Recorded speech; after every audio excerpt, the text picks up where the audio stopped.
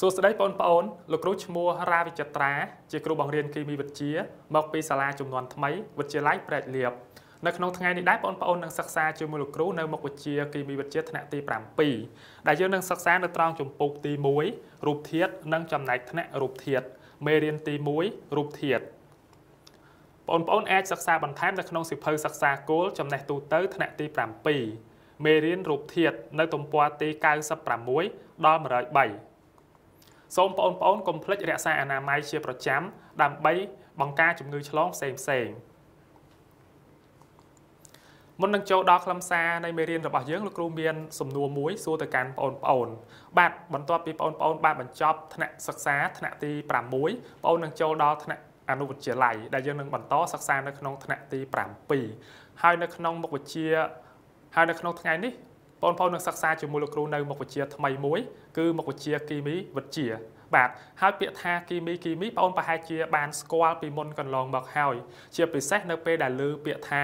បន្លែផ្លែឈើត្រីសាច់មានផ្ទុកនៅសារធាតុគីមីដូច្នេះលោកគ្រូមានសំណួរមួយសួរទៅកាន់បងប្អូនបាទលោកគ្រូឆ្ងល់ថាតើគីមីវិទ្យាជាអ្វី អញ្ចឹងបើតាមចំណេះដឹងដែលបងប្អូនធ្លាប់ជួបកន្លងមកបងអូនប្រហែលជាអាចដឹងហើយបាទហើយលោកគ្រូគិតថាបងអូនប្រហែលជាភ័យបារម្ភចំពោះពាក្យថាគីមី តែងតែភ័យខ្លាចនៅពេលដែលគេនិយាយពាក្យថាគីមីបាទអញ្ចឹងយើងទៅមើលចម្លើយទៅមើលថាតើដោយការរំពឹងទុករបស់បងអូនដែរឬទេបាទអញ្ចឹងពាក្យថាគីមីវិទ្យាគឺជាវិទ្យាសាស្ត្រដែលសិក្សាអំពីរូបធាតុនិងការបំលែងរបស់វា និងបាតុភូតនៃការបំលែងនោះអញ្ចឹងពាក្យថាគីមីគឺយើងត្រូវសិក្សាអំពីរូបធាតុការបំលែងរបស់រូបធាតុហើយនិងបាតុភូតតកតងទៅនឹងការបំលែងអញ្ចឹងលោកគ្រូចាប់ផ្ដើមឆ្ងល់ទៀតថាតើអ្វីទៅជារូបធាតុបាទអញ្ចឹងតើអ្វីទៅជារូបធាតុអញ្ចឹងដើម្បីឲ្យកាន់តែច្បាស់នៅក្នុងវីដេអូនេះដែរយើងនឹងសិក្សាអំពីរូបធាតុតែម្ដងអញ្ចឹងយើងចូលដល់ខ្លឹមសាររបស់យើងគឺចម្ពោះទី1រូបធាតុនិងចំណែកថ្នាក់រូបធាតុមេរៀនទី1រូបធាតុ បន្ទាប់ពីមើលវីដេអូនេះចប់បងប្អូននឹងមានសមត្ថភាព ទី1បងប្អូនអាចព័ត៌មាននិយមន័យរូបធាតុបានត្រឹមត្រូវតាមរយៈការមើលវីដេអូរបស់លោកគ្រូនិងទី2បងប្អូនអាចបែងចែកភាពរូបរបស់រូបធាតុបានត្រឹមត្រូវតាមលក្ខណៈសម្គាល់របស់វាមានន័យថាបងប្អូនអាចបែងចែករវាងរឹងរាវនិងអូស្មាននិងទី3នោះគឺបងប្អូនអាចចេះសង្កេតវត្ថុដែលនៅជុំវិញខ្លួននិងកំណត់ភាពរូបរបស់វាបានច្បាស់លាស់ យើងចូលដល់ចំណុចទី1ដែលនិយាយអំពីរូបធាតុអញ្ចឹងបងប្អូនអាចសង្កេតមើលរូបភាពនៅខាងក្រោមលោកគ្រូនឹងភ្ជាប់ជូនបាទអញ្ចឹងរូបភាពទី1គឺសំណង់អាគារហើយនៅក្នុងសំណង់អាគារគឺមានច្រើន បាទមានដូចជាផ្សារបាទផ្សារមានវិឡាមានផ្ទះមានអាគារធំស្កឹមស្កៃបាទអញ្ចឹងទាំងអស់ហ្នឹងគឺជារូបធាតុបាទហើយមួយទៀតនោះគឺប្រាសាទបុរាណអញ្ចឹងប្រាសាទបុរាណរបស់យើងមានដូចជាប្រាសាទអង្គរវត្តប្រាសាទអង្គរធំបាទជាប្រាសាទដែលមាន អ្នកទេសចរចូលមកទស្សនាច្រើនបាទហើយរូបទី3គឺនិយាយអំពីសម្ភារៈសិក្សាអញ្ចឹងបើយើងនិយាយអំពីសម្ភារៈសិក្សាបងប្អូនប្រហែលជាដឹងហើយមានដូចជាសិភៅខ្មៅដៃបន្ទាត់បាទមាន smartphone ហើយនឹងកុំព្យូទ័របាទអញ្ចឹងសម្ភារៈទាំងអស់ហ្នឹងគេហៅថារូបធាតុប៉ុន្តែលោកគ្រូឆ្ងល់ថាតើរូបភាពដែលលោកគ្រូបង្ហាញនេះរូបធាតុតើគេសម្គាល់អ្វីទៅ ទើបអាចហៅថាជារូបធាតុបានចលគូមានសំណួរមួយសួរទៅកាន់បងប្អូនសួរថាតើវត្ថុទាំងអស់ខាងលើបាទឬក៏សម្ភារៈទាំងអស់ខាងលើហ្នឹងមានម៉ាស់និងមាត្រដែរឬទេបាទអញ្ចឹងបើយើងនិយាយ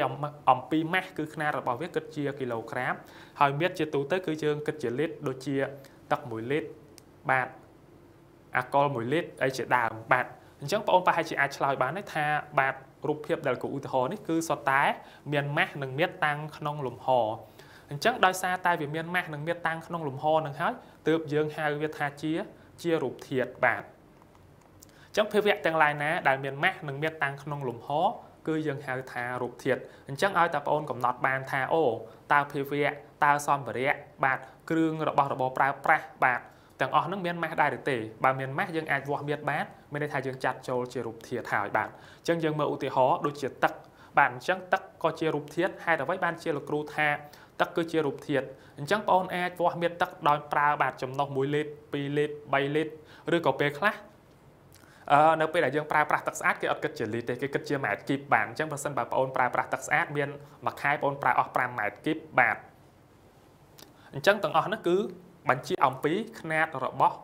មៀតចុះម៉ាស់តែយើងធ្វើយ៉ាងដូចម្ដេចបងបានដឹងថាទឹក1លីត្រមានម៉ាស់1គីឡូក្រាមអញ្ចឹងជាទូទៅគឺគេអាចថ្លឹងម៉ាស់របស់ទឹកបានបាទអញ្ចឹង សរុបមកវិញទឹកគឺជារូបធាតុបាទហើយទី2គឺដុំថ្មអញ្ចឹងបើយើងនិយាយទៅដល់ដុំថ្មគឺយើងយកទៅប្រើប្រាស់ច្រើនតាក់ទងទៅនឹងការសាងសង់ជាពិសេសគឺសំណង់អាគារធំធំបាទយើងលាយជាមួយស៊ីម៉ងទៅបាទអញ្ចឹងដុំថ្មវាជារូបធាតុដោយសារអីដោយសារតែលោកគ្រូអាចបាទវាស់កំណត់ម៉ាស់របស់វាបានហើយបន្ទាប់មកទៀតគឺលោកគ្រូអាចកំណត់មានអញ្ចឹងបងប្រហែលជាឆ្ងល់ហើយលោកគ្រូដុំថ្មជាអង្គធាតុរឹងហើយមានរាងអត់ច្បាស់លាស់ផង តើយើងកំណត់មាត្របានដោយរបៀបណាបាទអញ្ចឹងចំពោះការកំណត់មាត្រអង្គធាតុរឹងដែលមិនរលាយក្នុងទឹកនោះគឺយើងអាចយកដុំអង្គធាតុរឹងតម្លាក់ចូលទឹកហើយនៅពេលដែលតម្លាក់ចូលទឹកទៅទឹកហៀប្រមាណចេញមកហ្នឹងយើងអាចយកទឹកហ្នឹងទៅវាស់មាត្រដោយប្រើស៊ីឡាំងក្រិតឬក៏ប្រើខ្នាតមាត្រផ្សេងផ្សេងដែលយើងអាចវាស់បានបាទហើយមួយទៀតនោះគឺរថយន្តបាទរថយន្តទំនើបអញ្ចឹងរថយន្តបើសិនជាបងអូនគិតថាប្រហែលជាលោកគ្រូខ្ញុំថ្លឹងរថយន្តយ៉ាងម៉េចទៅបើរថយន្តវាធំយ៉ាងហ្នឹងបាទអញ្ចឹងបងអូនដឹងថាជញ្ជីងថ្លឹងរថយន្តគឺមាននៅតាមផ្លូវជាពិសេសផ្លូវជាតិគឺគេថ្លឹងរហូតដល់20តោន30តោនក៏បានដែរបាទអញ្ចឹងរថយន្តគឺមានមៀតមានម៉ាស់ច្បាស់ច្បាស់លាស់បាទអញ្ចឹងមានន័យថារថយន្តក៏ជារូបធាតុចុះលោកគ្រូកំពុងតែនិយាយបាទទៅកាន់បងប្អូនតើបងប្អូនគិតថាលោកគ្រូជារូបធាតុដែរឬទេបាទ គឺជារូបធាតុ100%មិនថាប្អូនមិនថាលោកគ្រូអាណាព្យាបាលរបស់បងប្អូនបាទអាណាព្យាបាលរបស់លោកគ្រូបាទឪពុកម្ដាយរបស់លោកគ្រូហ្នឹងគឺសុទ្ធតែជារូបធាតុអញ្ចឹងជាទូទៅភាវៈដែលមានជីវិតហ្នឹងគឺជារូបធាតុបាទដោយសារអីដោយសារម៉ាស់យើងអាចថ្លឹងដោយប្រើជញ្ជីងមៀតយើងអាចវាស់បាទຂະຫນាតគិតជាលីត្រគិតជាម៉ែត្រគីបឬក៏ដេស៊ីម៉ែត្រគីបជាដើមបាទចឹងមួយទៀតបាទនេះមនុស្សនេះដែលលោកគ្រូកំពុងតែឧទាហរណ៍មាញ់ដូចជាលោកគ្រូអីជាដើមបងប្អូនហ្នឹង ក៏ជារូបធាតុដែរដូចជាលោកគ្រូមានម៉ាស់ប៉ុន្មាន60គីឡូក្រាមបាទអញ្ចឹងគឺជារូបធាតុបាទអញ្ចឹងភាវៈ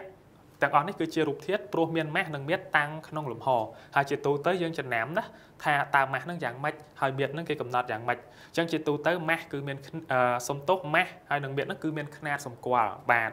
គឺម៉ាស់គិតជាគីឡូក្រាមនៅក្នុងຂະຫນាតអន្តរជាតិបាទ SE ប៉ុន្តែនៅក្នុងគីមីវិទ្យាយើងជាទូទៅបងប្អូននឹងឃើញម៉ាស់គិតជាក្រាមហេតុអ្វីបានជាគេមិនយកគីឡូក្រាមមកមកប្រើ នៅក្នុងគីមីវិទ្យាដោយសារតែសារធាតុគីមីរបស់យើងវាមានតម្លៃថ្លៃហើយមួយទៀតនោះគឺថាបាទបរិមាណរបស់យើងនៅពេលដែលយើងពិសោធន៍នោះគឺប្រើបរិមាណតិចតួចប្រសិនបើប្រើបរិមាណច្រើនវាអាចប៉ះពាល់ទៅដល់បរិស្ថានបាទហើយចំពោះមៀតគឺយើងអាចមានຂະຫນាតច្រើន មានដូចជាលីត្របាទដែលយើងអាចវាស់ទឹកវាស់អាល់កុលឬក៏ស្រាប៊ីអីជាដើមបាទហើយមួយទៀតម៉ែត្រគូបឬក៏យើងហៅថាម៉ែត្រគីប ឬក៏ពេលខ្លះយើងហៅថាគីបតែម្ដងមកគីប2គីប3គីបណាទឹកស្អាតដែលយើងប្រើហ្នឹងការពិតយើងតាំងដោយ m បាទស្វ័យគុណ3គឺជាម៉ែត្រគីបបាទឬក៏ពេលខ្លះបងអូននឹងឃើញមួយទៀតຂະຫນាតដែលគេឧស្សាហ៍ប្រើចំពោះមៀតគឺ decimeter kip ហើយ decimeter kip និង lit ហ្នឹងគឺຂະຫນាតស្មើគ្នាបាទຂະຫນាតហ្នឹងគឺស្មើគ្នាបាទឥឡូវយើងបន្តទៅដល់មួយទៀតលោកគ្រូនិយាយអំពីកម្ដៅអញ្ចឹងបើសិនជាយើងដើរហាក្ដៅណាព្រះអាទិត្យបញ្ចេញរស្មីបាទ ស្វាយអ៊ុលត្រាឬក៏ពន្លឺជះមកលើយើងធ្វើឲ្យយើងក្ដៅអញ្ចឹងលោកគ្រូសួរថាតើកម្ដៅហ្នឹងវាជារូបធាតុដែរឬទេអញ្ចឹងដើម្បីបញ្ជាក់ថាកម្ដៅជារូបភាពសុំទោសកម្ដៅជារូបធាតុដែរឬទេគឺបងអូនអាចសាកគិតមើលថាតើយើងអាចកំណត់ម៉ាស់វាបានដោយរបៀបណាហើយនឹងកំណត់មៀតវាដោយរបៀបណាអញ្ចឹងជាទូទៅពន្លឺឬក៏កម្ដៅយើងមិនអាចវាស់ម៉ាស់ឬក៏កំណត់មៀតបានទេអញ្ចឹងនៅក្នុងចំណុចនេះគឺយើងថា កម្ដៅគឺមិនមែនជារូបធាតុនោះទេ ហើយមួយទៀតគឺពន្លឺអញ្ចឹងពន្លឺដូចជាពន្លឺបាតភ្លើងពិលពន្លឺអំពូលម៉ែត្រឬក៏ពន្លឺដែលចេញពី smartphone ហ្នឹងក៏មិនមែនជារូបធាតុដែរហេតុអ្វីបានជាលោកគ្រូថាមិនមែនជារូបធាតុដោយសារតែនៅពេលដែលយើងបញ្ចាំងណាឧទាហរណ៍ថាឥឡូវលោកគ្រូចង់ដឹងថាតើពន្លឺភ្លើងពិល វាមានម៉ាស់អត់អញ្ចឹងលោកគ្រូគាត់បញ្ចាំង7ហ្នឹងហើយបញ្ចាំងទៅលើជញ្ជីងសួរថាវាកើនម៉ាស់អត់បើសិនបើយើងបញ្ចាំងទៅលើជញ្ជីងទៅឃើញថាជញ្ជីងវាប្រែប្រួលមានម៉ាស់កើនឡើងឬក៏ថយចុះនឹងបញ្ជាក់ថាពន្លឺគឺមានម៉ាស់ប៉ុន្តែនៅត្រង់ចំណុចនេះគឺវាអត់ប្រែប្រួលចឹងមានថាយើងអាចកំណត់បានថាពន្លឺមិនមានម៉ាស់ចុះមានតែយើងកំណត់ដោយរបៀបណាបាទបងប្អូនបញ្ចាំងទៅលើអញ្ចេះគឺឃើញបែបហ្នឹងប៉ុន្តែយើងមិនអាចវាស់ថាតើមាន1លីត្រ2លីត្រអីបានទេអញ្ចឹងពន្លឺគឺមិនមែនជារូបធាតុដូចគ្នា មួយទៀតសំឡេងបាទ បងកំពុងតែស្ដាប់លោកគ្រូបង្រៀនបាទតាមអនឡាញនេះសួរថានៅពេលដែលលោកគ្រូនិយាយទៅបាទតើបងឃើញថាអាចថ្លឹងម៉ាស់បានទេបងដាក់ទៅលើជញ្ជីងឬក៏កំពុងស្ដាប់លោកគ្រូទៅដាក់ជញ្ជីងក្បែរតើវាមានប្រែប្រួលຂະຫນាតដែរឬទេគឺអត់ទេដូច្នេះសំឡេងក៏មិនមែនជារូបធាតុដូចគ្នាបាទមួយទៀតអារម្មណ៍ ចឹងតកតងទៅនឹងអារម្មណ៍មានច្រើនមានសប្បាយបាទ មានកើតទុកក្រៀមក្រំអីចឹងទៅបាទចឹងរំភើបរីករាយបាទច្រើនមែនតែនចឹងតកតងទៅនឹងអារម្មណ៍បាទក៏មិនមែនជារូបធាតុដែរព្រោះអីបញ្ចេញពីអារម្មណ៍របស់យើងណាឧទាហរណ៍ថាលោកគ្រូខឹងស្រាប់តែគាត់តែខឹងមួយផ្លែតទៅថ្លឹងគីឡូស្រកអស់10គីឡូគឺមិនអាចទេបាទហើយដល់ពេលលោកគ្រូខឹងតើលោកគ្រូអាចវាស់បានអត់គឺអត់ទេគឺអារម្មណ៍របស់លោកគ្រូគេហៅថាអរូបិយណាអញ្ចឹងជាទូទៅអរូបិយគឺមិនមែនជារូបធាតុទេដូចជាប្រលឹងបាទប្រលឹងវិញ្ញាណអីហ្នឹងណា គឺយើងមិនអាចកំណត់បានទេថាមានម៉ាស់ប្រមាណមានមានប្រមាណអញ្ចឹងគឺមិនមែនជារូបរូបធាតុទេបាទអញ្ចឹងទាំងអស់ហ្នឹងដូចជាកម្ដៅពន្លឺសម្លេងអារម្មណ៍គឺទាំងអស់ហ្នឹងមិនមែនរូបធាតុព្រោះអីវាគ្មានម៉ាស់និងមានតាំងក្នុងលំហដោយសារតែយើងហ្នឹងมันអាចកំណត់ຂະຫນាតម៉ាស់ຂະຫນាតមានរបស់វាបានបាទឥឡូវយើងចូលដល់ចំណុចទី2ដែលនិយាយអំពីរូបធាតុ បាទសូមទោសចំណុចទី2លក្ខណៈរូបធាតុអញ្ចឹងយើងបានស្គាល់ហើយរូបធាតុវាមានម៉ាស់និងមានតាំងក្នុងលំហអញ្ចឹងតើគេសម្គាល់លក្ខណៈសម្គាល់របស់វានឹងមានអ្វីខ្លះបាទអញ្ចឹងឥឡូវលោកគ្រូមានរូបភាពបាទរូបភាពមាន2 4 6 8អញ្ចឹងរូបភាពទាំង8ហ្នឹងគឺយើងបញ្ជាក់អំពីរូបធាតុបាទអញ្ចឹងតើរូបធាតុទាំងអស់ហ្នឹង បងអាចបែងចែកបានទេថាតើមាននៅក្នុងក្រុមក្រុមណាដែលដូចគ្នាអញ្ចឹងលោកគ្រូចង់ឲ្យបងប្អូនហ្នឹងជ្រើសរើសថាតើរូបធាតុទាំង8ហ្នឹងអ្នកណាខ្លះឬក៏រូបធាតុណាខ្លះដែលមានលក្ខណៈស្រដៀងគ្នាមានលក្ខណៈដូចគ្នាចង់ឲ្យបងប្អូនបំបែកអញ្ចឹងលោកគ្រូចង់ឲ្យបងប្អូនបំបែកទៅជា3ក្រុមផ្សេងផ្សេងគ្នាបាទចឹងលោកគ្រូប្រាប់ទៀតថាឲ្យបំបែកជា3ក្រុមអញ្ចឹងបងអូនអាចរើសទៅថាតើណាមួយដែលដាក់ដូចគ្នាឧទាហរណ៍ថាលោកគ្រូគិតថាអូទឹកដោះគោទឹកដោះគោ មានលក្ខណៈដូចទៅនឹងកណ្ដឹងអញ្ចឹងលោកគ្រូយកទឹកដោះគោនិងកណ្ដឹងហ្នឹងដាក់នៅក្នុងក្រុមជាមួយគ្នាដល់ពេលបាទបាឡុងបាទបាឡុងនេះគឺយើងចង់សំដៅទៅលើខ្យល់នៅក្នុងបាឡុងមានលក្ខណៈដូចសភៅអញ្ចឹងយើងដាក់មកដុំជាមួយគ្នាឥឡូវបងប្អូនសាកបាទចាប់ផ្ដើមធ្វើចំណែកថ្នាក់មើលថាតើធាតុទាំងអស់ហ្នឹងរូបធាតុទាំងអស់ហ្នឹងតើនៅក្នុងក្រុមណាក្រុមណាអញ្ចឹងលោកគ្រូចង់ឲ្យបងប្អូនបំបែកចិនជា3 3ក្រុមណាតែយើងមិនបាច់ដាក់ឈ្មោះអីទេគាត់ដាក់ក្រុមទី1ក្រុមទី2ក្រុមទី3មក បាទអញ្ចឹងលោកគ្រូគិតថាបងប្អូនបានធ្វើចំណែកថ្នាក់រួចហើយអញ្ចឹងយើងទៅមើលចម្លើយជាមួយលោកគ្រូបាទចឹងនៅក្នុងនេះគឺលោកគ្រូបានបែងចែកចិនជា3ដោយបានបង្ហាញទៅកាន់បងអូនមិញអញ្ចឹងអញ្ចឹងនៅក្នុងក្រុមទី1លោកគ្រូអត់មានដាក់ឈ្មោះអីទាំងអស់អញ្ចឹងទី1លោកគ្រូដាក់សៀវភៅដាក់កណ្ដឹងផ្លែឈើហើយនឹងប៊ិចនៅក្នុងក្រុមជាមួយគ្នាហើយទី2គឺលោកគ្រូដាក់ប៉ោងប៉ោងជាមួយនឹងបាឡុង នៅក្នុងក្រុមជាមួយគ្នាហើយទី3គឺលោកគ្រូដាក់ភេសជ្ជៈបាទភេសជ្ជៈហើយនឹងទឹកដោះគោនៅក្នុងក្រុមជាមួយគ្នាអញ្ចឹងប្រសិនបើបងប្អូនប្អូនធ្វើចំណែកថ្នាក់ដូចលោកគ្រូតើបងប្អូនមានលក្ខណៈសម្គាល់អ្វីខ្លះដែលបងប្អូនហ៊ានធ្វើចំណែកថ្នាក់បាទអញ្ចឹងសម្រាប់លោកគ្រូគឺលោកគ្រូមានគោលការណ៍ក្នុងការធ្វើចំណែកថ្នាក់មានថាលោកគ្រូគិតចាប់ដើមគិតឥឡូវលោកគ្រូចាប់ដើមគិតស៊ីវភៅក៏ដឹងផ្លែឈើតើវាជាអង្គធាតុរឹងដូចគ្នាទេ បាទវារឹងទាំងអស់អញ្ចឹងលោកគ្រូដាក់មកដុំបន្ទាប់មកទៀតគឺមានដូចជាប៉ោងប៉ោងមានដូចជាខ្យល់បាទខ្យល់នៅក្នុងប៉ោងប៉ោងនិងនៅក្នុងបាឡុងអញ្ចឹងវាជាអីគេជាអ៊ូស្មានវាអាចហោះបានហោះដូចគ្នាអញ្ចឹងលោកគ្រូដាក់មកដុំបាទហើយដល់ពេលចុងក្រោយគេភេសជ្ជៈនិងទឹកដោះគោវាជាអង្គធាតុរាវអញ្ចឹងលោកគ្រូដាក់មកដុំអញ្ចឹងសរុបមកវិញបាទលោកគ្រូដាក់ជា3ផ្នែកនេះគឺផ្នែកទី1អង្គធាតុរឹងផ្នែកទី2អ៊ូស្មាននិងផ្នែកទី3គឺអង្គធាតុរាវអញ្ចឹងលោកគ្រូចាប់ផ្ដើមឆ្ងល់ទៀតអូ តើសម្គាល់អីខ្លះដែលយើងអាចចាត់ទុកជាក្រុមអង្គធាតុរឹងអង្គធាតុរាវនិងអ៊ូស្មានចឹងយើងនឹងបន្តទៅទាំងអស់គ្នាថាតើអង្គធាតុរឹងរាវនិងអ៊ូស្មានហ្នឹងមានលក្ខណៈសម្គាល់អីខ្លះបានជាលោកគ្រូហ៊ានចំណាយថ្នាក់បែបនេះបាទចឹងនៅពេលដែលយើងចង់ពិពណ៌នាអំពីវត្ថុអ្វីមួយដល់នរណាម្នាក់គឺយើងតែងតែប្រើពាក្យបាទទី1ដូចជារសជាតិមានផ្អែមមានល្វីងមានជូរមានចត់អីចឹងទៅចឹងឧទាហរណ៍ថាលោកគ្រូចង់ឲ្យប្អូនយកស្ករសឲ្យលោកគ្រូ ចឹងលោកគ្រូគាត់ប្រាប់ថាប្អូនសូមប្អូនទៅយកអង្គធាតុរឹងដែលមានពណ៌សរសជាតិផ្អែមយកមកឲ្យលោកគ្រូអញ្ចឹងបងប្អូនប្រកាសជាកំណត់បានថាអូការពិតលោកគ្រូចង់បានស្ករសប៉ុន្តែបើសិនជាលោកគ្រូចង់បានអំបិលលោកគ្រូប្រាប់ថាអូប្អូនទៅផ្ទះបាយយកអង្គធាតុឬក៏រូបធាតុដែលមានរសជាតិប្រៃមកឲ្យលោកគ្រូអញ្ចឹងជាអង្គធាតុឬក៏រូបធាតុដែលមានរសជាតិប្រៃបងប្អូនប្រកបជាគិតទៅដល់អំបិលហើយបាទអញ្ចឹង រសជាតិគឺចង់សម្ដៅបែបហ្នឹងមិនថាយើងពណ៌នាវត្ថុដែលយើងចង់បានហើយយើងប្រាប់តាមរយៈរសជាតិអីហ្នឹងបាទហើយទី2គឺនិយាយអំពីពណ៌បាទពណ៌វាមានច្រើនពណ៌ដូចជាពណ៌ខ្មៅពណ៌ខៀវពណ៌លឿងក្រហមស្វាយទឹកក្រូចអីជាដើមចឹងដូចលោកគ្រូពណ៌នាពីមុនមិញអញ្ចឹងលោកគ្រូចង់ឲ្យបងអូនយកស្ករសជាអង្គធាតុរឹងដែលមានពណ៌សហើយរសជាតិផ្អែមបាទអញ្ចឹងនេះពណ៌នេះបាទអញ្ចឹងយើងអាច នៅពេលដែលយើងពណ៌នាអំពីរសជាតិអំពីពណ៌គឺគេអាចដឹងថារូបធាតុដែលយើងចង់បាននោះជាអ្វីតែម្ដងបាទហើយមួយទៀតគឺយើងនិយាយអំពីរូបរាងអញ្ចឹងកាលណាយើងនិយាយអំពីរូបរាងគឺយើងចង់សំដៅទៅលើរូបធរណីមាត្របាទរូបធរណីមាត្រនៅក្នុងគណិតវិទ្យាណាប៉ុន្តែជាទូទៅរូបមួយចំនួនក៏មិនដូចទៅនឹងរូបធរណីមាត្រដែរឧទាហរណ៍ថាលោកគ្រូចង់បានកង្ហាហើយនៅក្នុងសម្ភារៈរបស់យើងវាមានកង្ហាមានតុកមានអីចឹងណាចឹងលោកគ្រូប្រាប់គេថាទៅយកអង្គធាតុរឹងបាទ ដែលមានរាងរង្វង់អីចឹងទៅអញ្ចឹងកង្ហាហ្នឹងគឺរាងជារង្វង់ដល់ពេលលោកគ្រូចង់បានតុកមានរាងជ្រុងអីចឹងទៅបាទអញ្ចឹងវាមានរាងដូចជាត្រីកោណរង្វង់ប្រឡេពីប៉ែតកែងអីហ្នឹងគឺចង់សំដៅទៅលើរូបរាងបាទហើយមួយទៀតគឺនិយាយអំពីទំហំអញ្ចឹងយើងអាចប្រៀបធៀបទំហំរបស់វត្ថុមួយឧទាហរណ៍ថាបងអូនចង់ប្រៀបធៀបអំពីកុំព្យូទ័រហើយនឹងទូរស័ព្ទដៃអញ្ចឹងបងអូនអាចប្រាប់គេថាអូ ខ្ញុំមានឧបករណ៍អេឡិចត្រូនិកចំនួន2ដែលមានមួយតូចដែលអាចថតរូបបានឧទាហរណ៍អញ្ចឹងណាមានពណ៌ខ្មៅអីចឹងទៅអញ្ចឹងហ្នឹងគឺសំដៅទៅលើបាទរូបធាតុដែលយើងចង់ពណ៌នាអញ្ចឹងអំពីទំហំវាមានតូចវាមានធំបាទមានផ្សេងផ្សេងទៀតអាស្រ័យទៅលើភាសាគ្រាមតំបន់ទៅតាមតំបន់នីមួយនីមួយហើយមួយទៀតគឺសំខាន់បំផុតនោះគឺភាពរូប បាទភាពរូបយើងមាន3គឺមានរឹងរាវហើយនិងអូស្មានដែលលោកគ្រូបានពណ៌នាពីមុនដែរអង្គធាតុរឹងពណ៌សរសជាតិផ្អែមអញ្ចឹងគាត់លោកគ្រូនិយាយមកប្រយោគហ្នឹងគឺចូលទាំងអស់អញ្ចឹងទាំងអស់ហ្នឹងគេហៅថាជាលក្ខណៈរបស់រូបធាតុសុំទោសជាលក្ខណៈរបស់រូបធាតុបាទ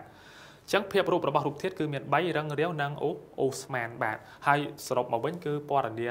បាទ4ចំណុច5ចំណុចហ្នឹង គឺសុទ្ធតែជាលក្ខណៈរបស់រូបធាតុអញ្ចឹងកាលណាបងចង់ឲ្យគេដឹងបងពណ៌នាអំពី5ចំណុចហ្នឹងទៅគេនឹងអាចទាញស្វែងយល់ថាបងចង់បានអីឬក៏ចង់បង្ហាញគេនឹងអំពីអ្វីបាទអញ្ចឹងយើងនិយាយអំពីវត្ថុរឹងឬក៏អង្គធាតុរឹងបាទអញ្ចឹងបើយើងនិយាយអំពីវត្ថុរឹងឬអង្គធាតុរឹងគឺមានលក្ខណៈសម្គាល់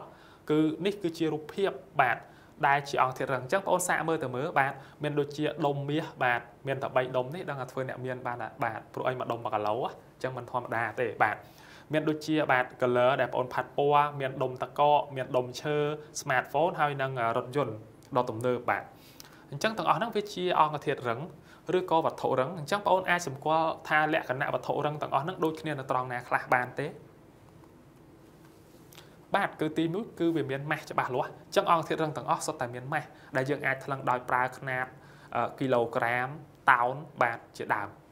ហើយទី2គឺមានមាត្រជាក់លាក់មានន័យថាមាត្ររបស់វាគឺมันប្រែប្រួលមានច្បាស់លាស់បើ1លីត្រគឺ1លីត្រតែម្ដងបាទហើយទី3គឺមានរៀងកំណត់ជាក់លាក់បងអូនឃើញទេបាទបន្ទាប់ពីមានម៉ាស់មានមាត្រគឺរៀងរបស់វាច្បាស់លាស់ ប៉ុន្តែនៅពេលដែលវាខូចត្រង់ទ្រាយលុះត្រាតែយើងដំយើងវាយបំបែកអីចឹងណាពុតអីចឹងទៅបានខូចត្រង់ទ្រាយបាទប៉ុន្តែបើនៅសុកសុកគឺវាមិនខូចត្រង់ទ្រាយនោះទេបាទហើយនេះគឺជាការតម្រៀបភាគល្អិតនៅក្នុងអង្គធាតុរឹងគឺតម្រៀបបែបនេះគឺមានសម្ដាប់ធ្នាប់មែនតែនបាទអញ្ចឹងវារៀបជា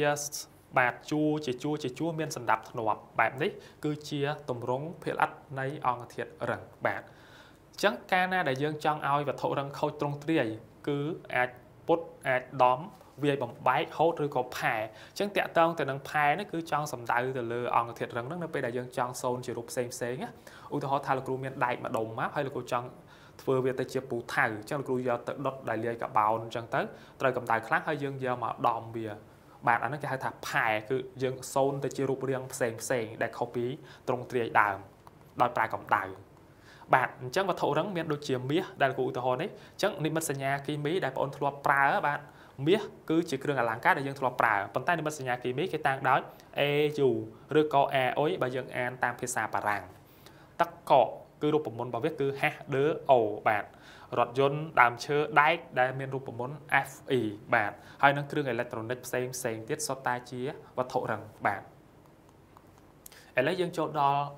ទី2គឺនិយាយអំពីវត្ថុរាវបាទអញ្ចឹងបើយើងនិយាយអំពីវត្ថុរាវគឺមានលក្ខណៈសម្គាល់មួយចំនួនដូចជាបាទប៉ុន្តែមុននឹងចូលដល់លក្ខណៈសម្គាល់បងមើលរូបភាពនេះសិនបាទទាំងអស់ហ្នឹងវត្ថុរាវតើមានលក្ខណៈណាដែលដូចគ្នាបាទពិតជាបាទមើលទៅគួរចង់ហូបតែម្ដងបាទមានតកកឈូសមានការ៉េមបាទមានភេសជ្ជៈបាទមានទឹកជ្រលក់មានអីច្រើនមានប្រេងឆាបាទនេះគួរអត់ដឹងដែរប្រហែលជាស្រាបៀរមិនដឹងបាទប៉ុន្តែមើលទៅទឹកតែទេបាទប្រហែលជាទឹកតែច្រើនជាងបាទអញ្ចឹង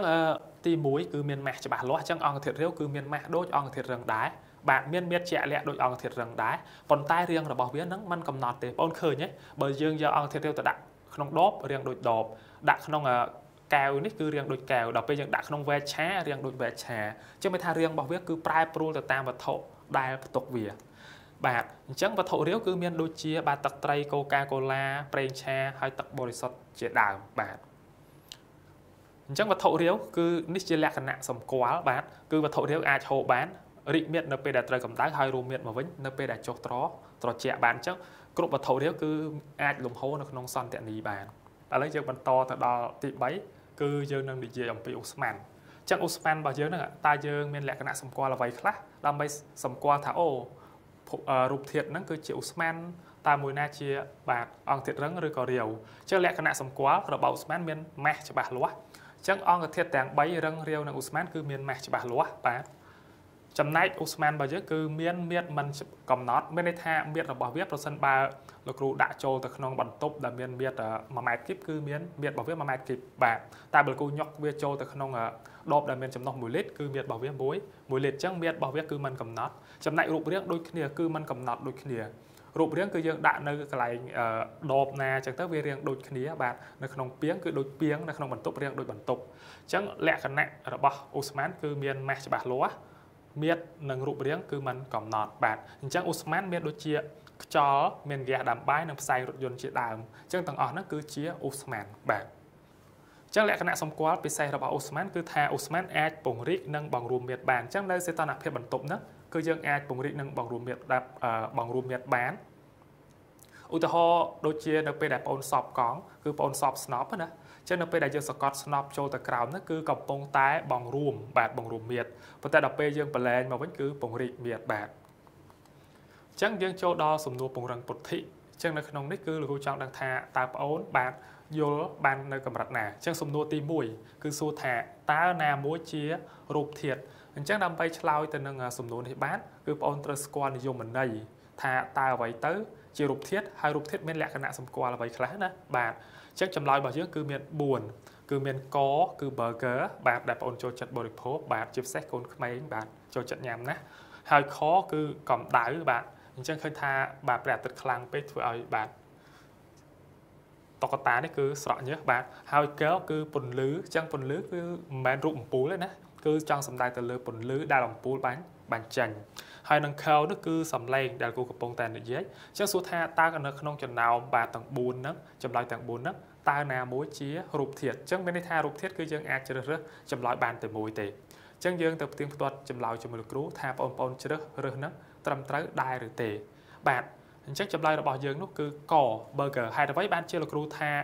burger ហ្នឹងគឺជារូបធាតុដោយសារតែយើងអាចថ្លឹងម៉ាស់វាបានដោយប្រើជញ្ជីងហើយមាត់របស់វាក៏យើងអាចវាស់វាបានដូចគ្នាបាទហើយចំណែកបាទកម្ដៅ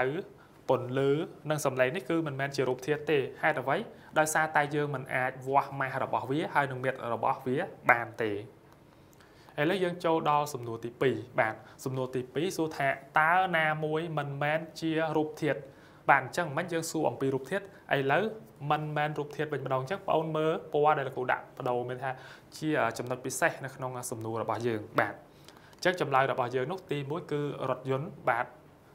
រថយន្តពណ៌ខៀវនេះហើយបាទសំទោសមិញលោកគ្រូថាទី1គឺកកគឺរថយន្តហើយខគឺអារម្មណ៍អញ្ចឹងមានដូចជាសបាយរីករាយការຕົកក្រៀមក្រំបាទជាដើមហើយចំណែក កែវគឺភេសជ្ជៈអញ្ចឹងមានភេសជ្ជៈគ្រប់ប្រភេទបាទមានទាំងពណ៌ខ្មៅពណ៌លឿងពណ៌បៃតងអីជាដើមហើយនឹងចុងក្រោយគឺខោខោគឺទូរស័ព្ទដៃបាទ smartphone ដែលបងប្អូនកំពុងតែទស្សនាវីដេអូរបស់លោកគ្រូចឹងបងអូនសាកជ្រើសរើសចម្លើយទៅមើលថាចម្លើយណាមួយជាចម្លើយដែលត្រឹមត្រូវបំផុតសម្រាប់សំណួរលេខលេខ2បាទអញ្ចឹងលោកគ្រូគិតថាបងប្អូននឹងមានចម្លើយនៅក្នុងចិត្តរួចរាល់ទៅហើយអញ្ចឹងលោកគ្រូនឹងប្រាប់ចម្លើយតែម្ដងថាចម្លើយមួយណាជាចម្លើយដែលត្រឹមត្រូវបាទចម្លើយដែលត្រឹមត្រូវគឺខហេតុអ្វីបានជាខជាចម្លើយដែលត្រឹមត្រូវបំផុតដោយសារតែខគេសួរថាមិនមែនរូបធាតុអញ្ចឹងមិនមែនជារូបធាតុមានន័យថាគឺវាអត់មានម៉ាស់បើយើងនិយាយឲ្យស្រួលស្ដាប់គឺគ្មានម៉ាស់បាទគ្មានមៀតតាំងក្នុងលំហដែលយើងមិនអាចវាស់ម៉ាស់ឬក៏មៀតវាបានទេ ចំណែកកកែវហើយនឹងខែវបាទ កនេះគឺជាអង្គធាតុរឹងបាទដោយសារវាជារថយន្តវាមានម៉ាស់និងមៀតច្បាស់លាស់បាទចំណែក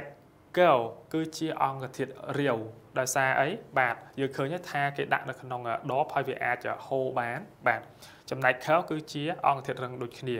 ស្តៀងទៅនឹងរថយន្តបាទជាគ្រឿងអេឡិចត្រូនិក smartphone អញ្ចឹងទាំងអស់នោះគឺសុទ្ធតែមានម៉ាស់និងមៀតច្បាស់លាស់បាទឥឡូវយើងបន្តដល់សំណួរទី3សំណួរទី3 តាមរយៈរូបភាពតើរូបធាតុណាខ្លះមិនមែនជាវត្ថុរឹងបាទអញ្ចឹងចម្លើយរបស់យើងនេះគឺមានរូបភាពនេះអញ្ចឹងនៅក្នុងចំណោមរូបភាពទាំងអស់ហ្នឹងតើណាខ្លះតើជាបាទមិនមែនជាវត្ថុរឹងបាទអញ្ចឹងចម្លើយករបស់យើងគឺមានឡាន មានកៅអីអាវនិងបាល់អញ្ចឹងមានឡាន បាទមានកៅអីមានអាវហើយនឹងបាល់បាទមួយនេះបាទអញ្ចឹងកន្លែងនេះគឺ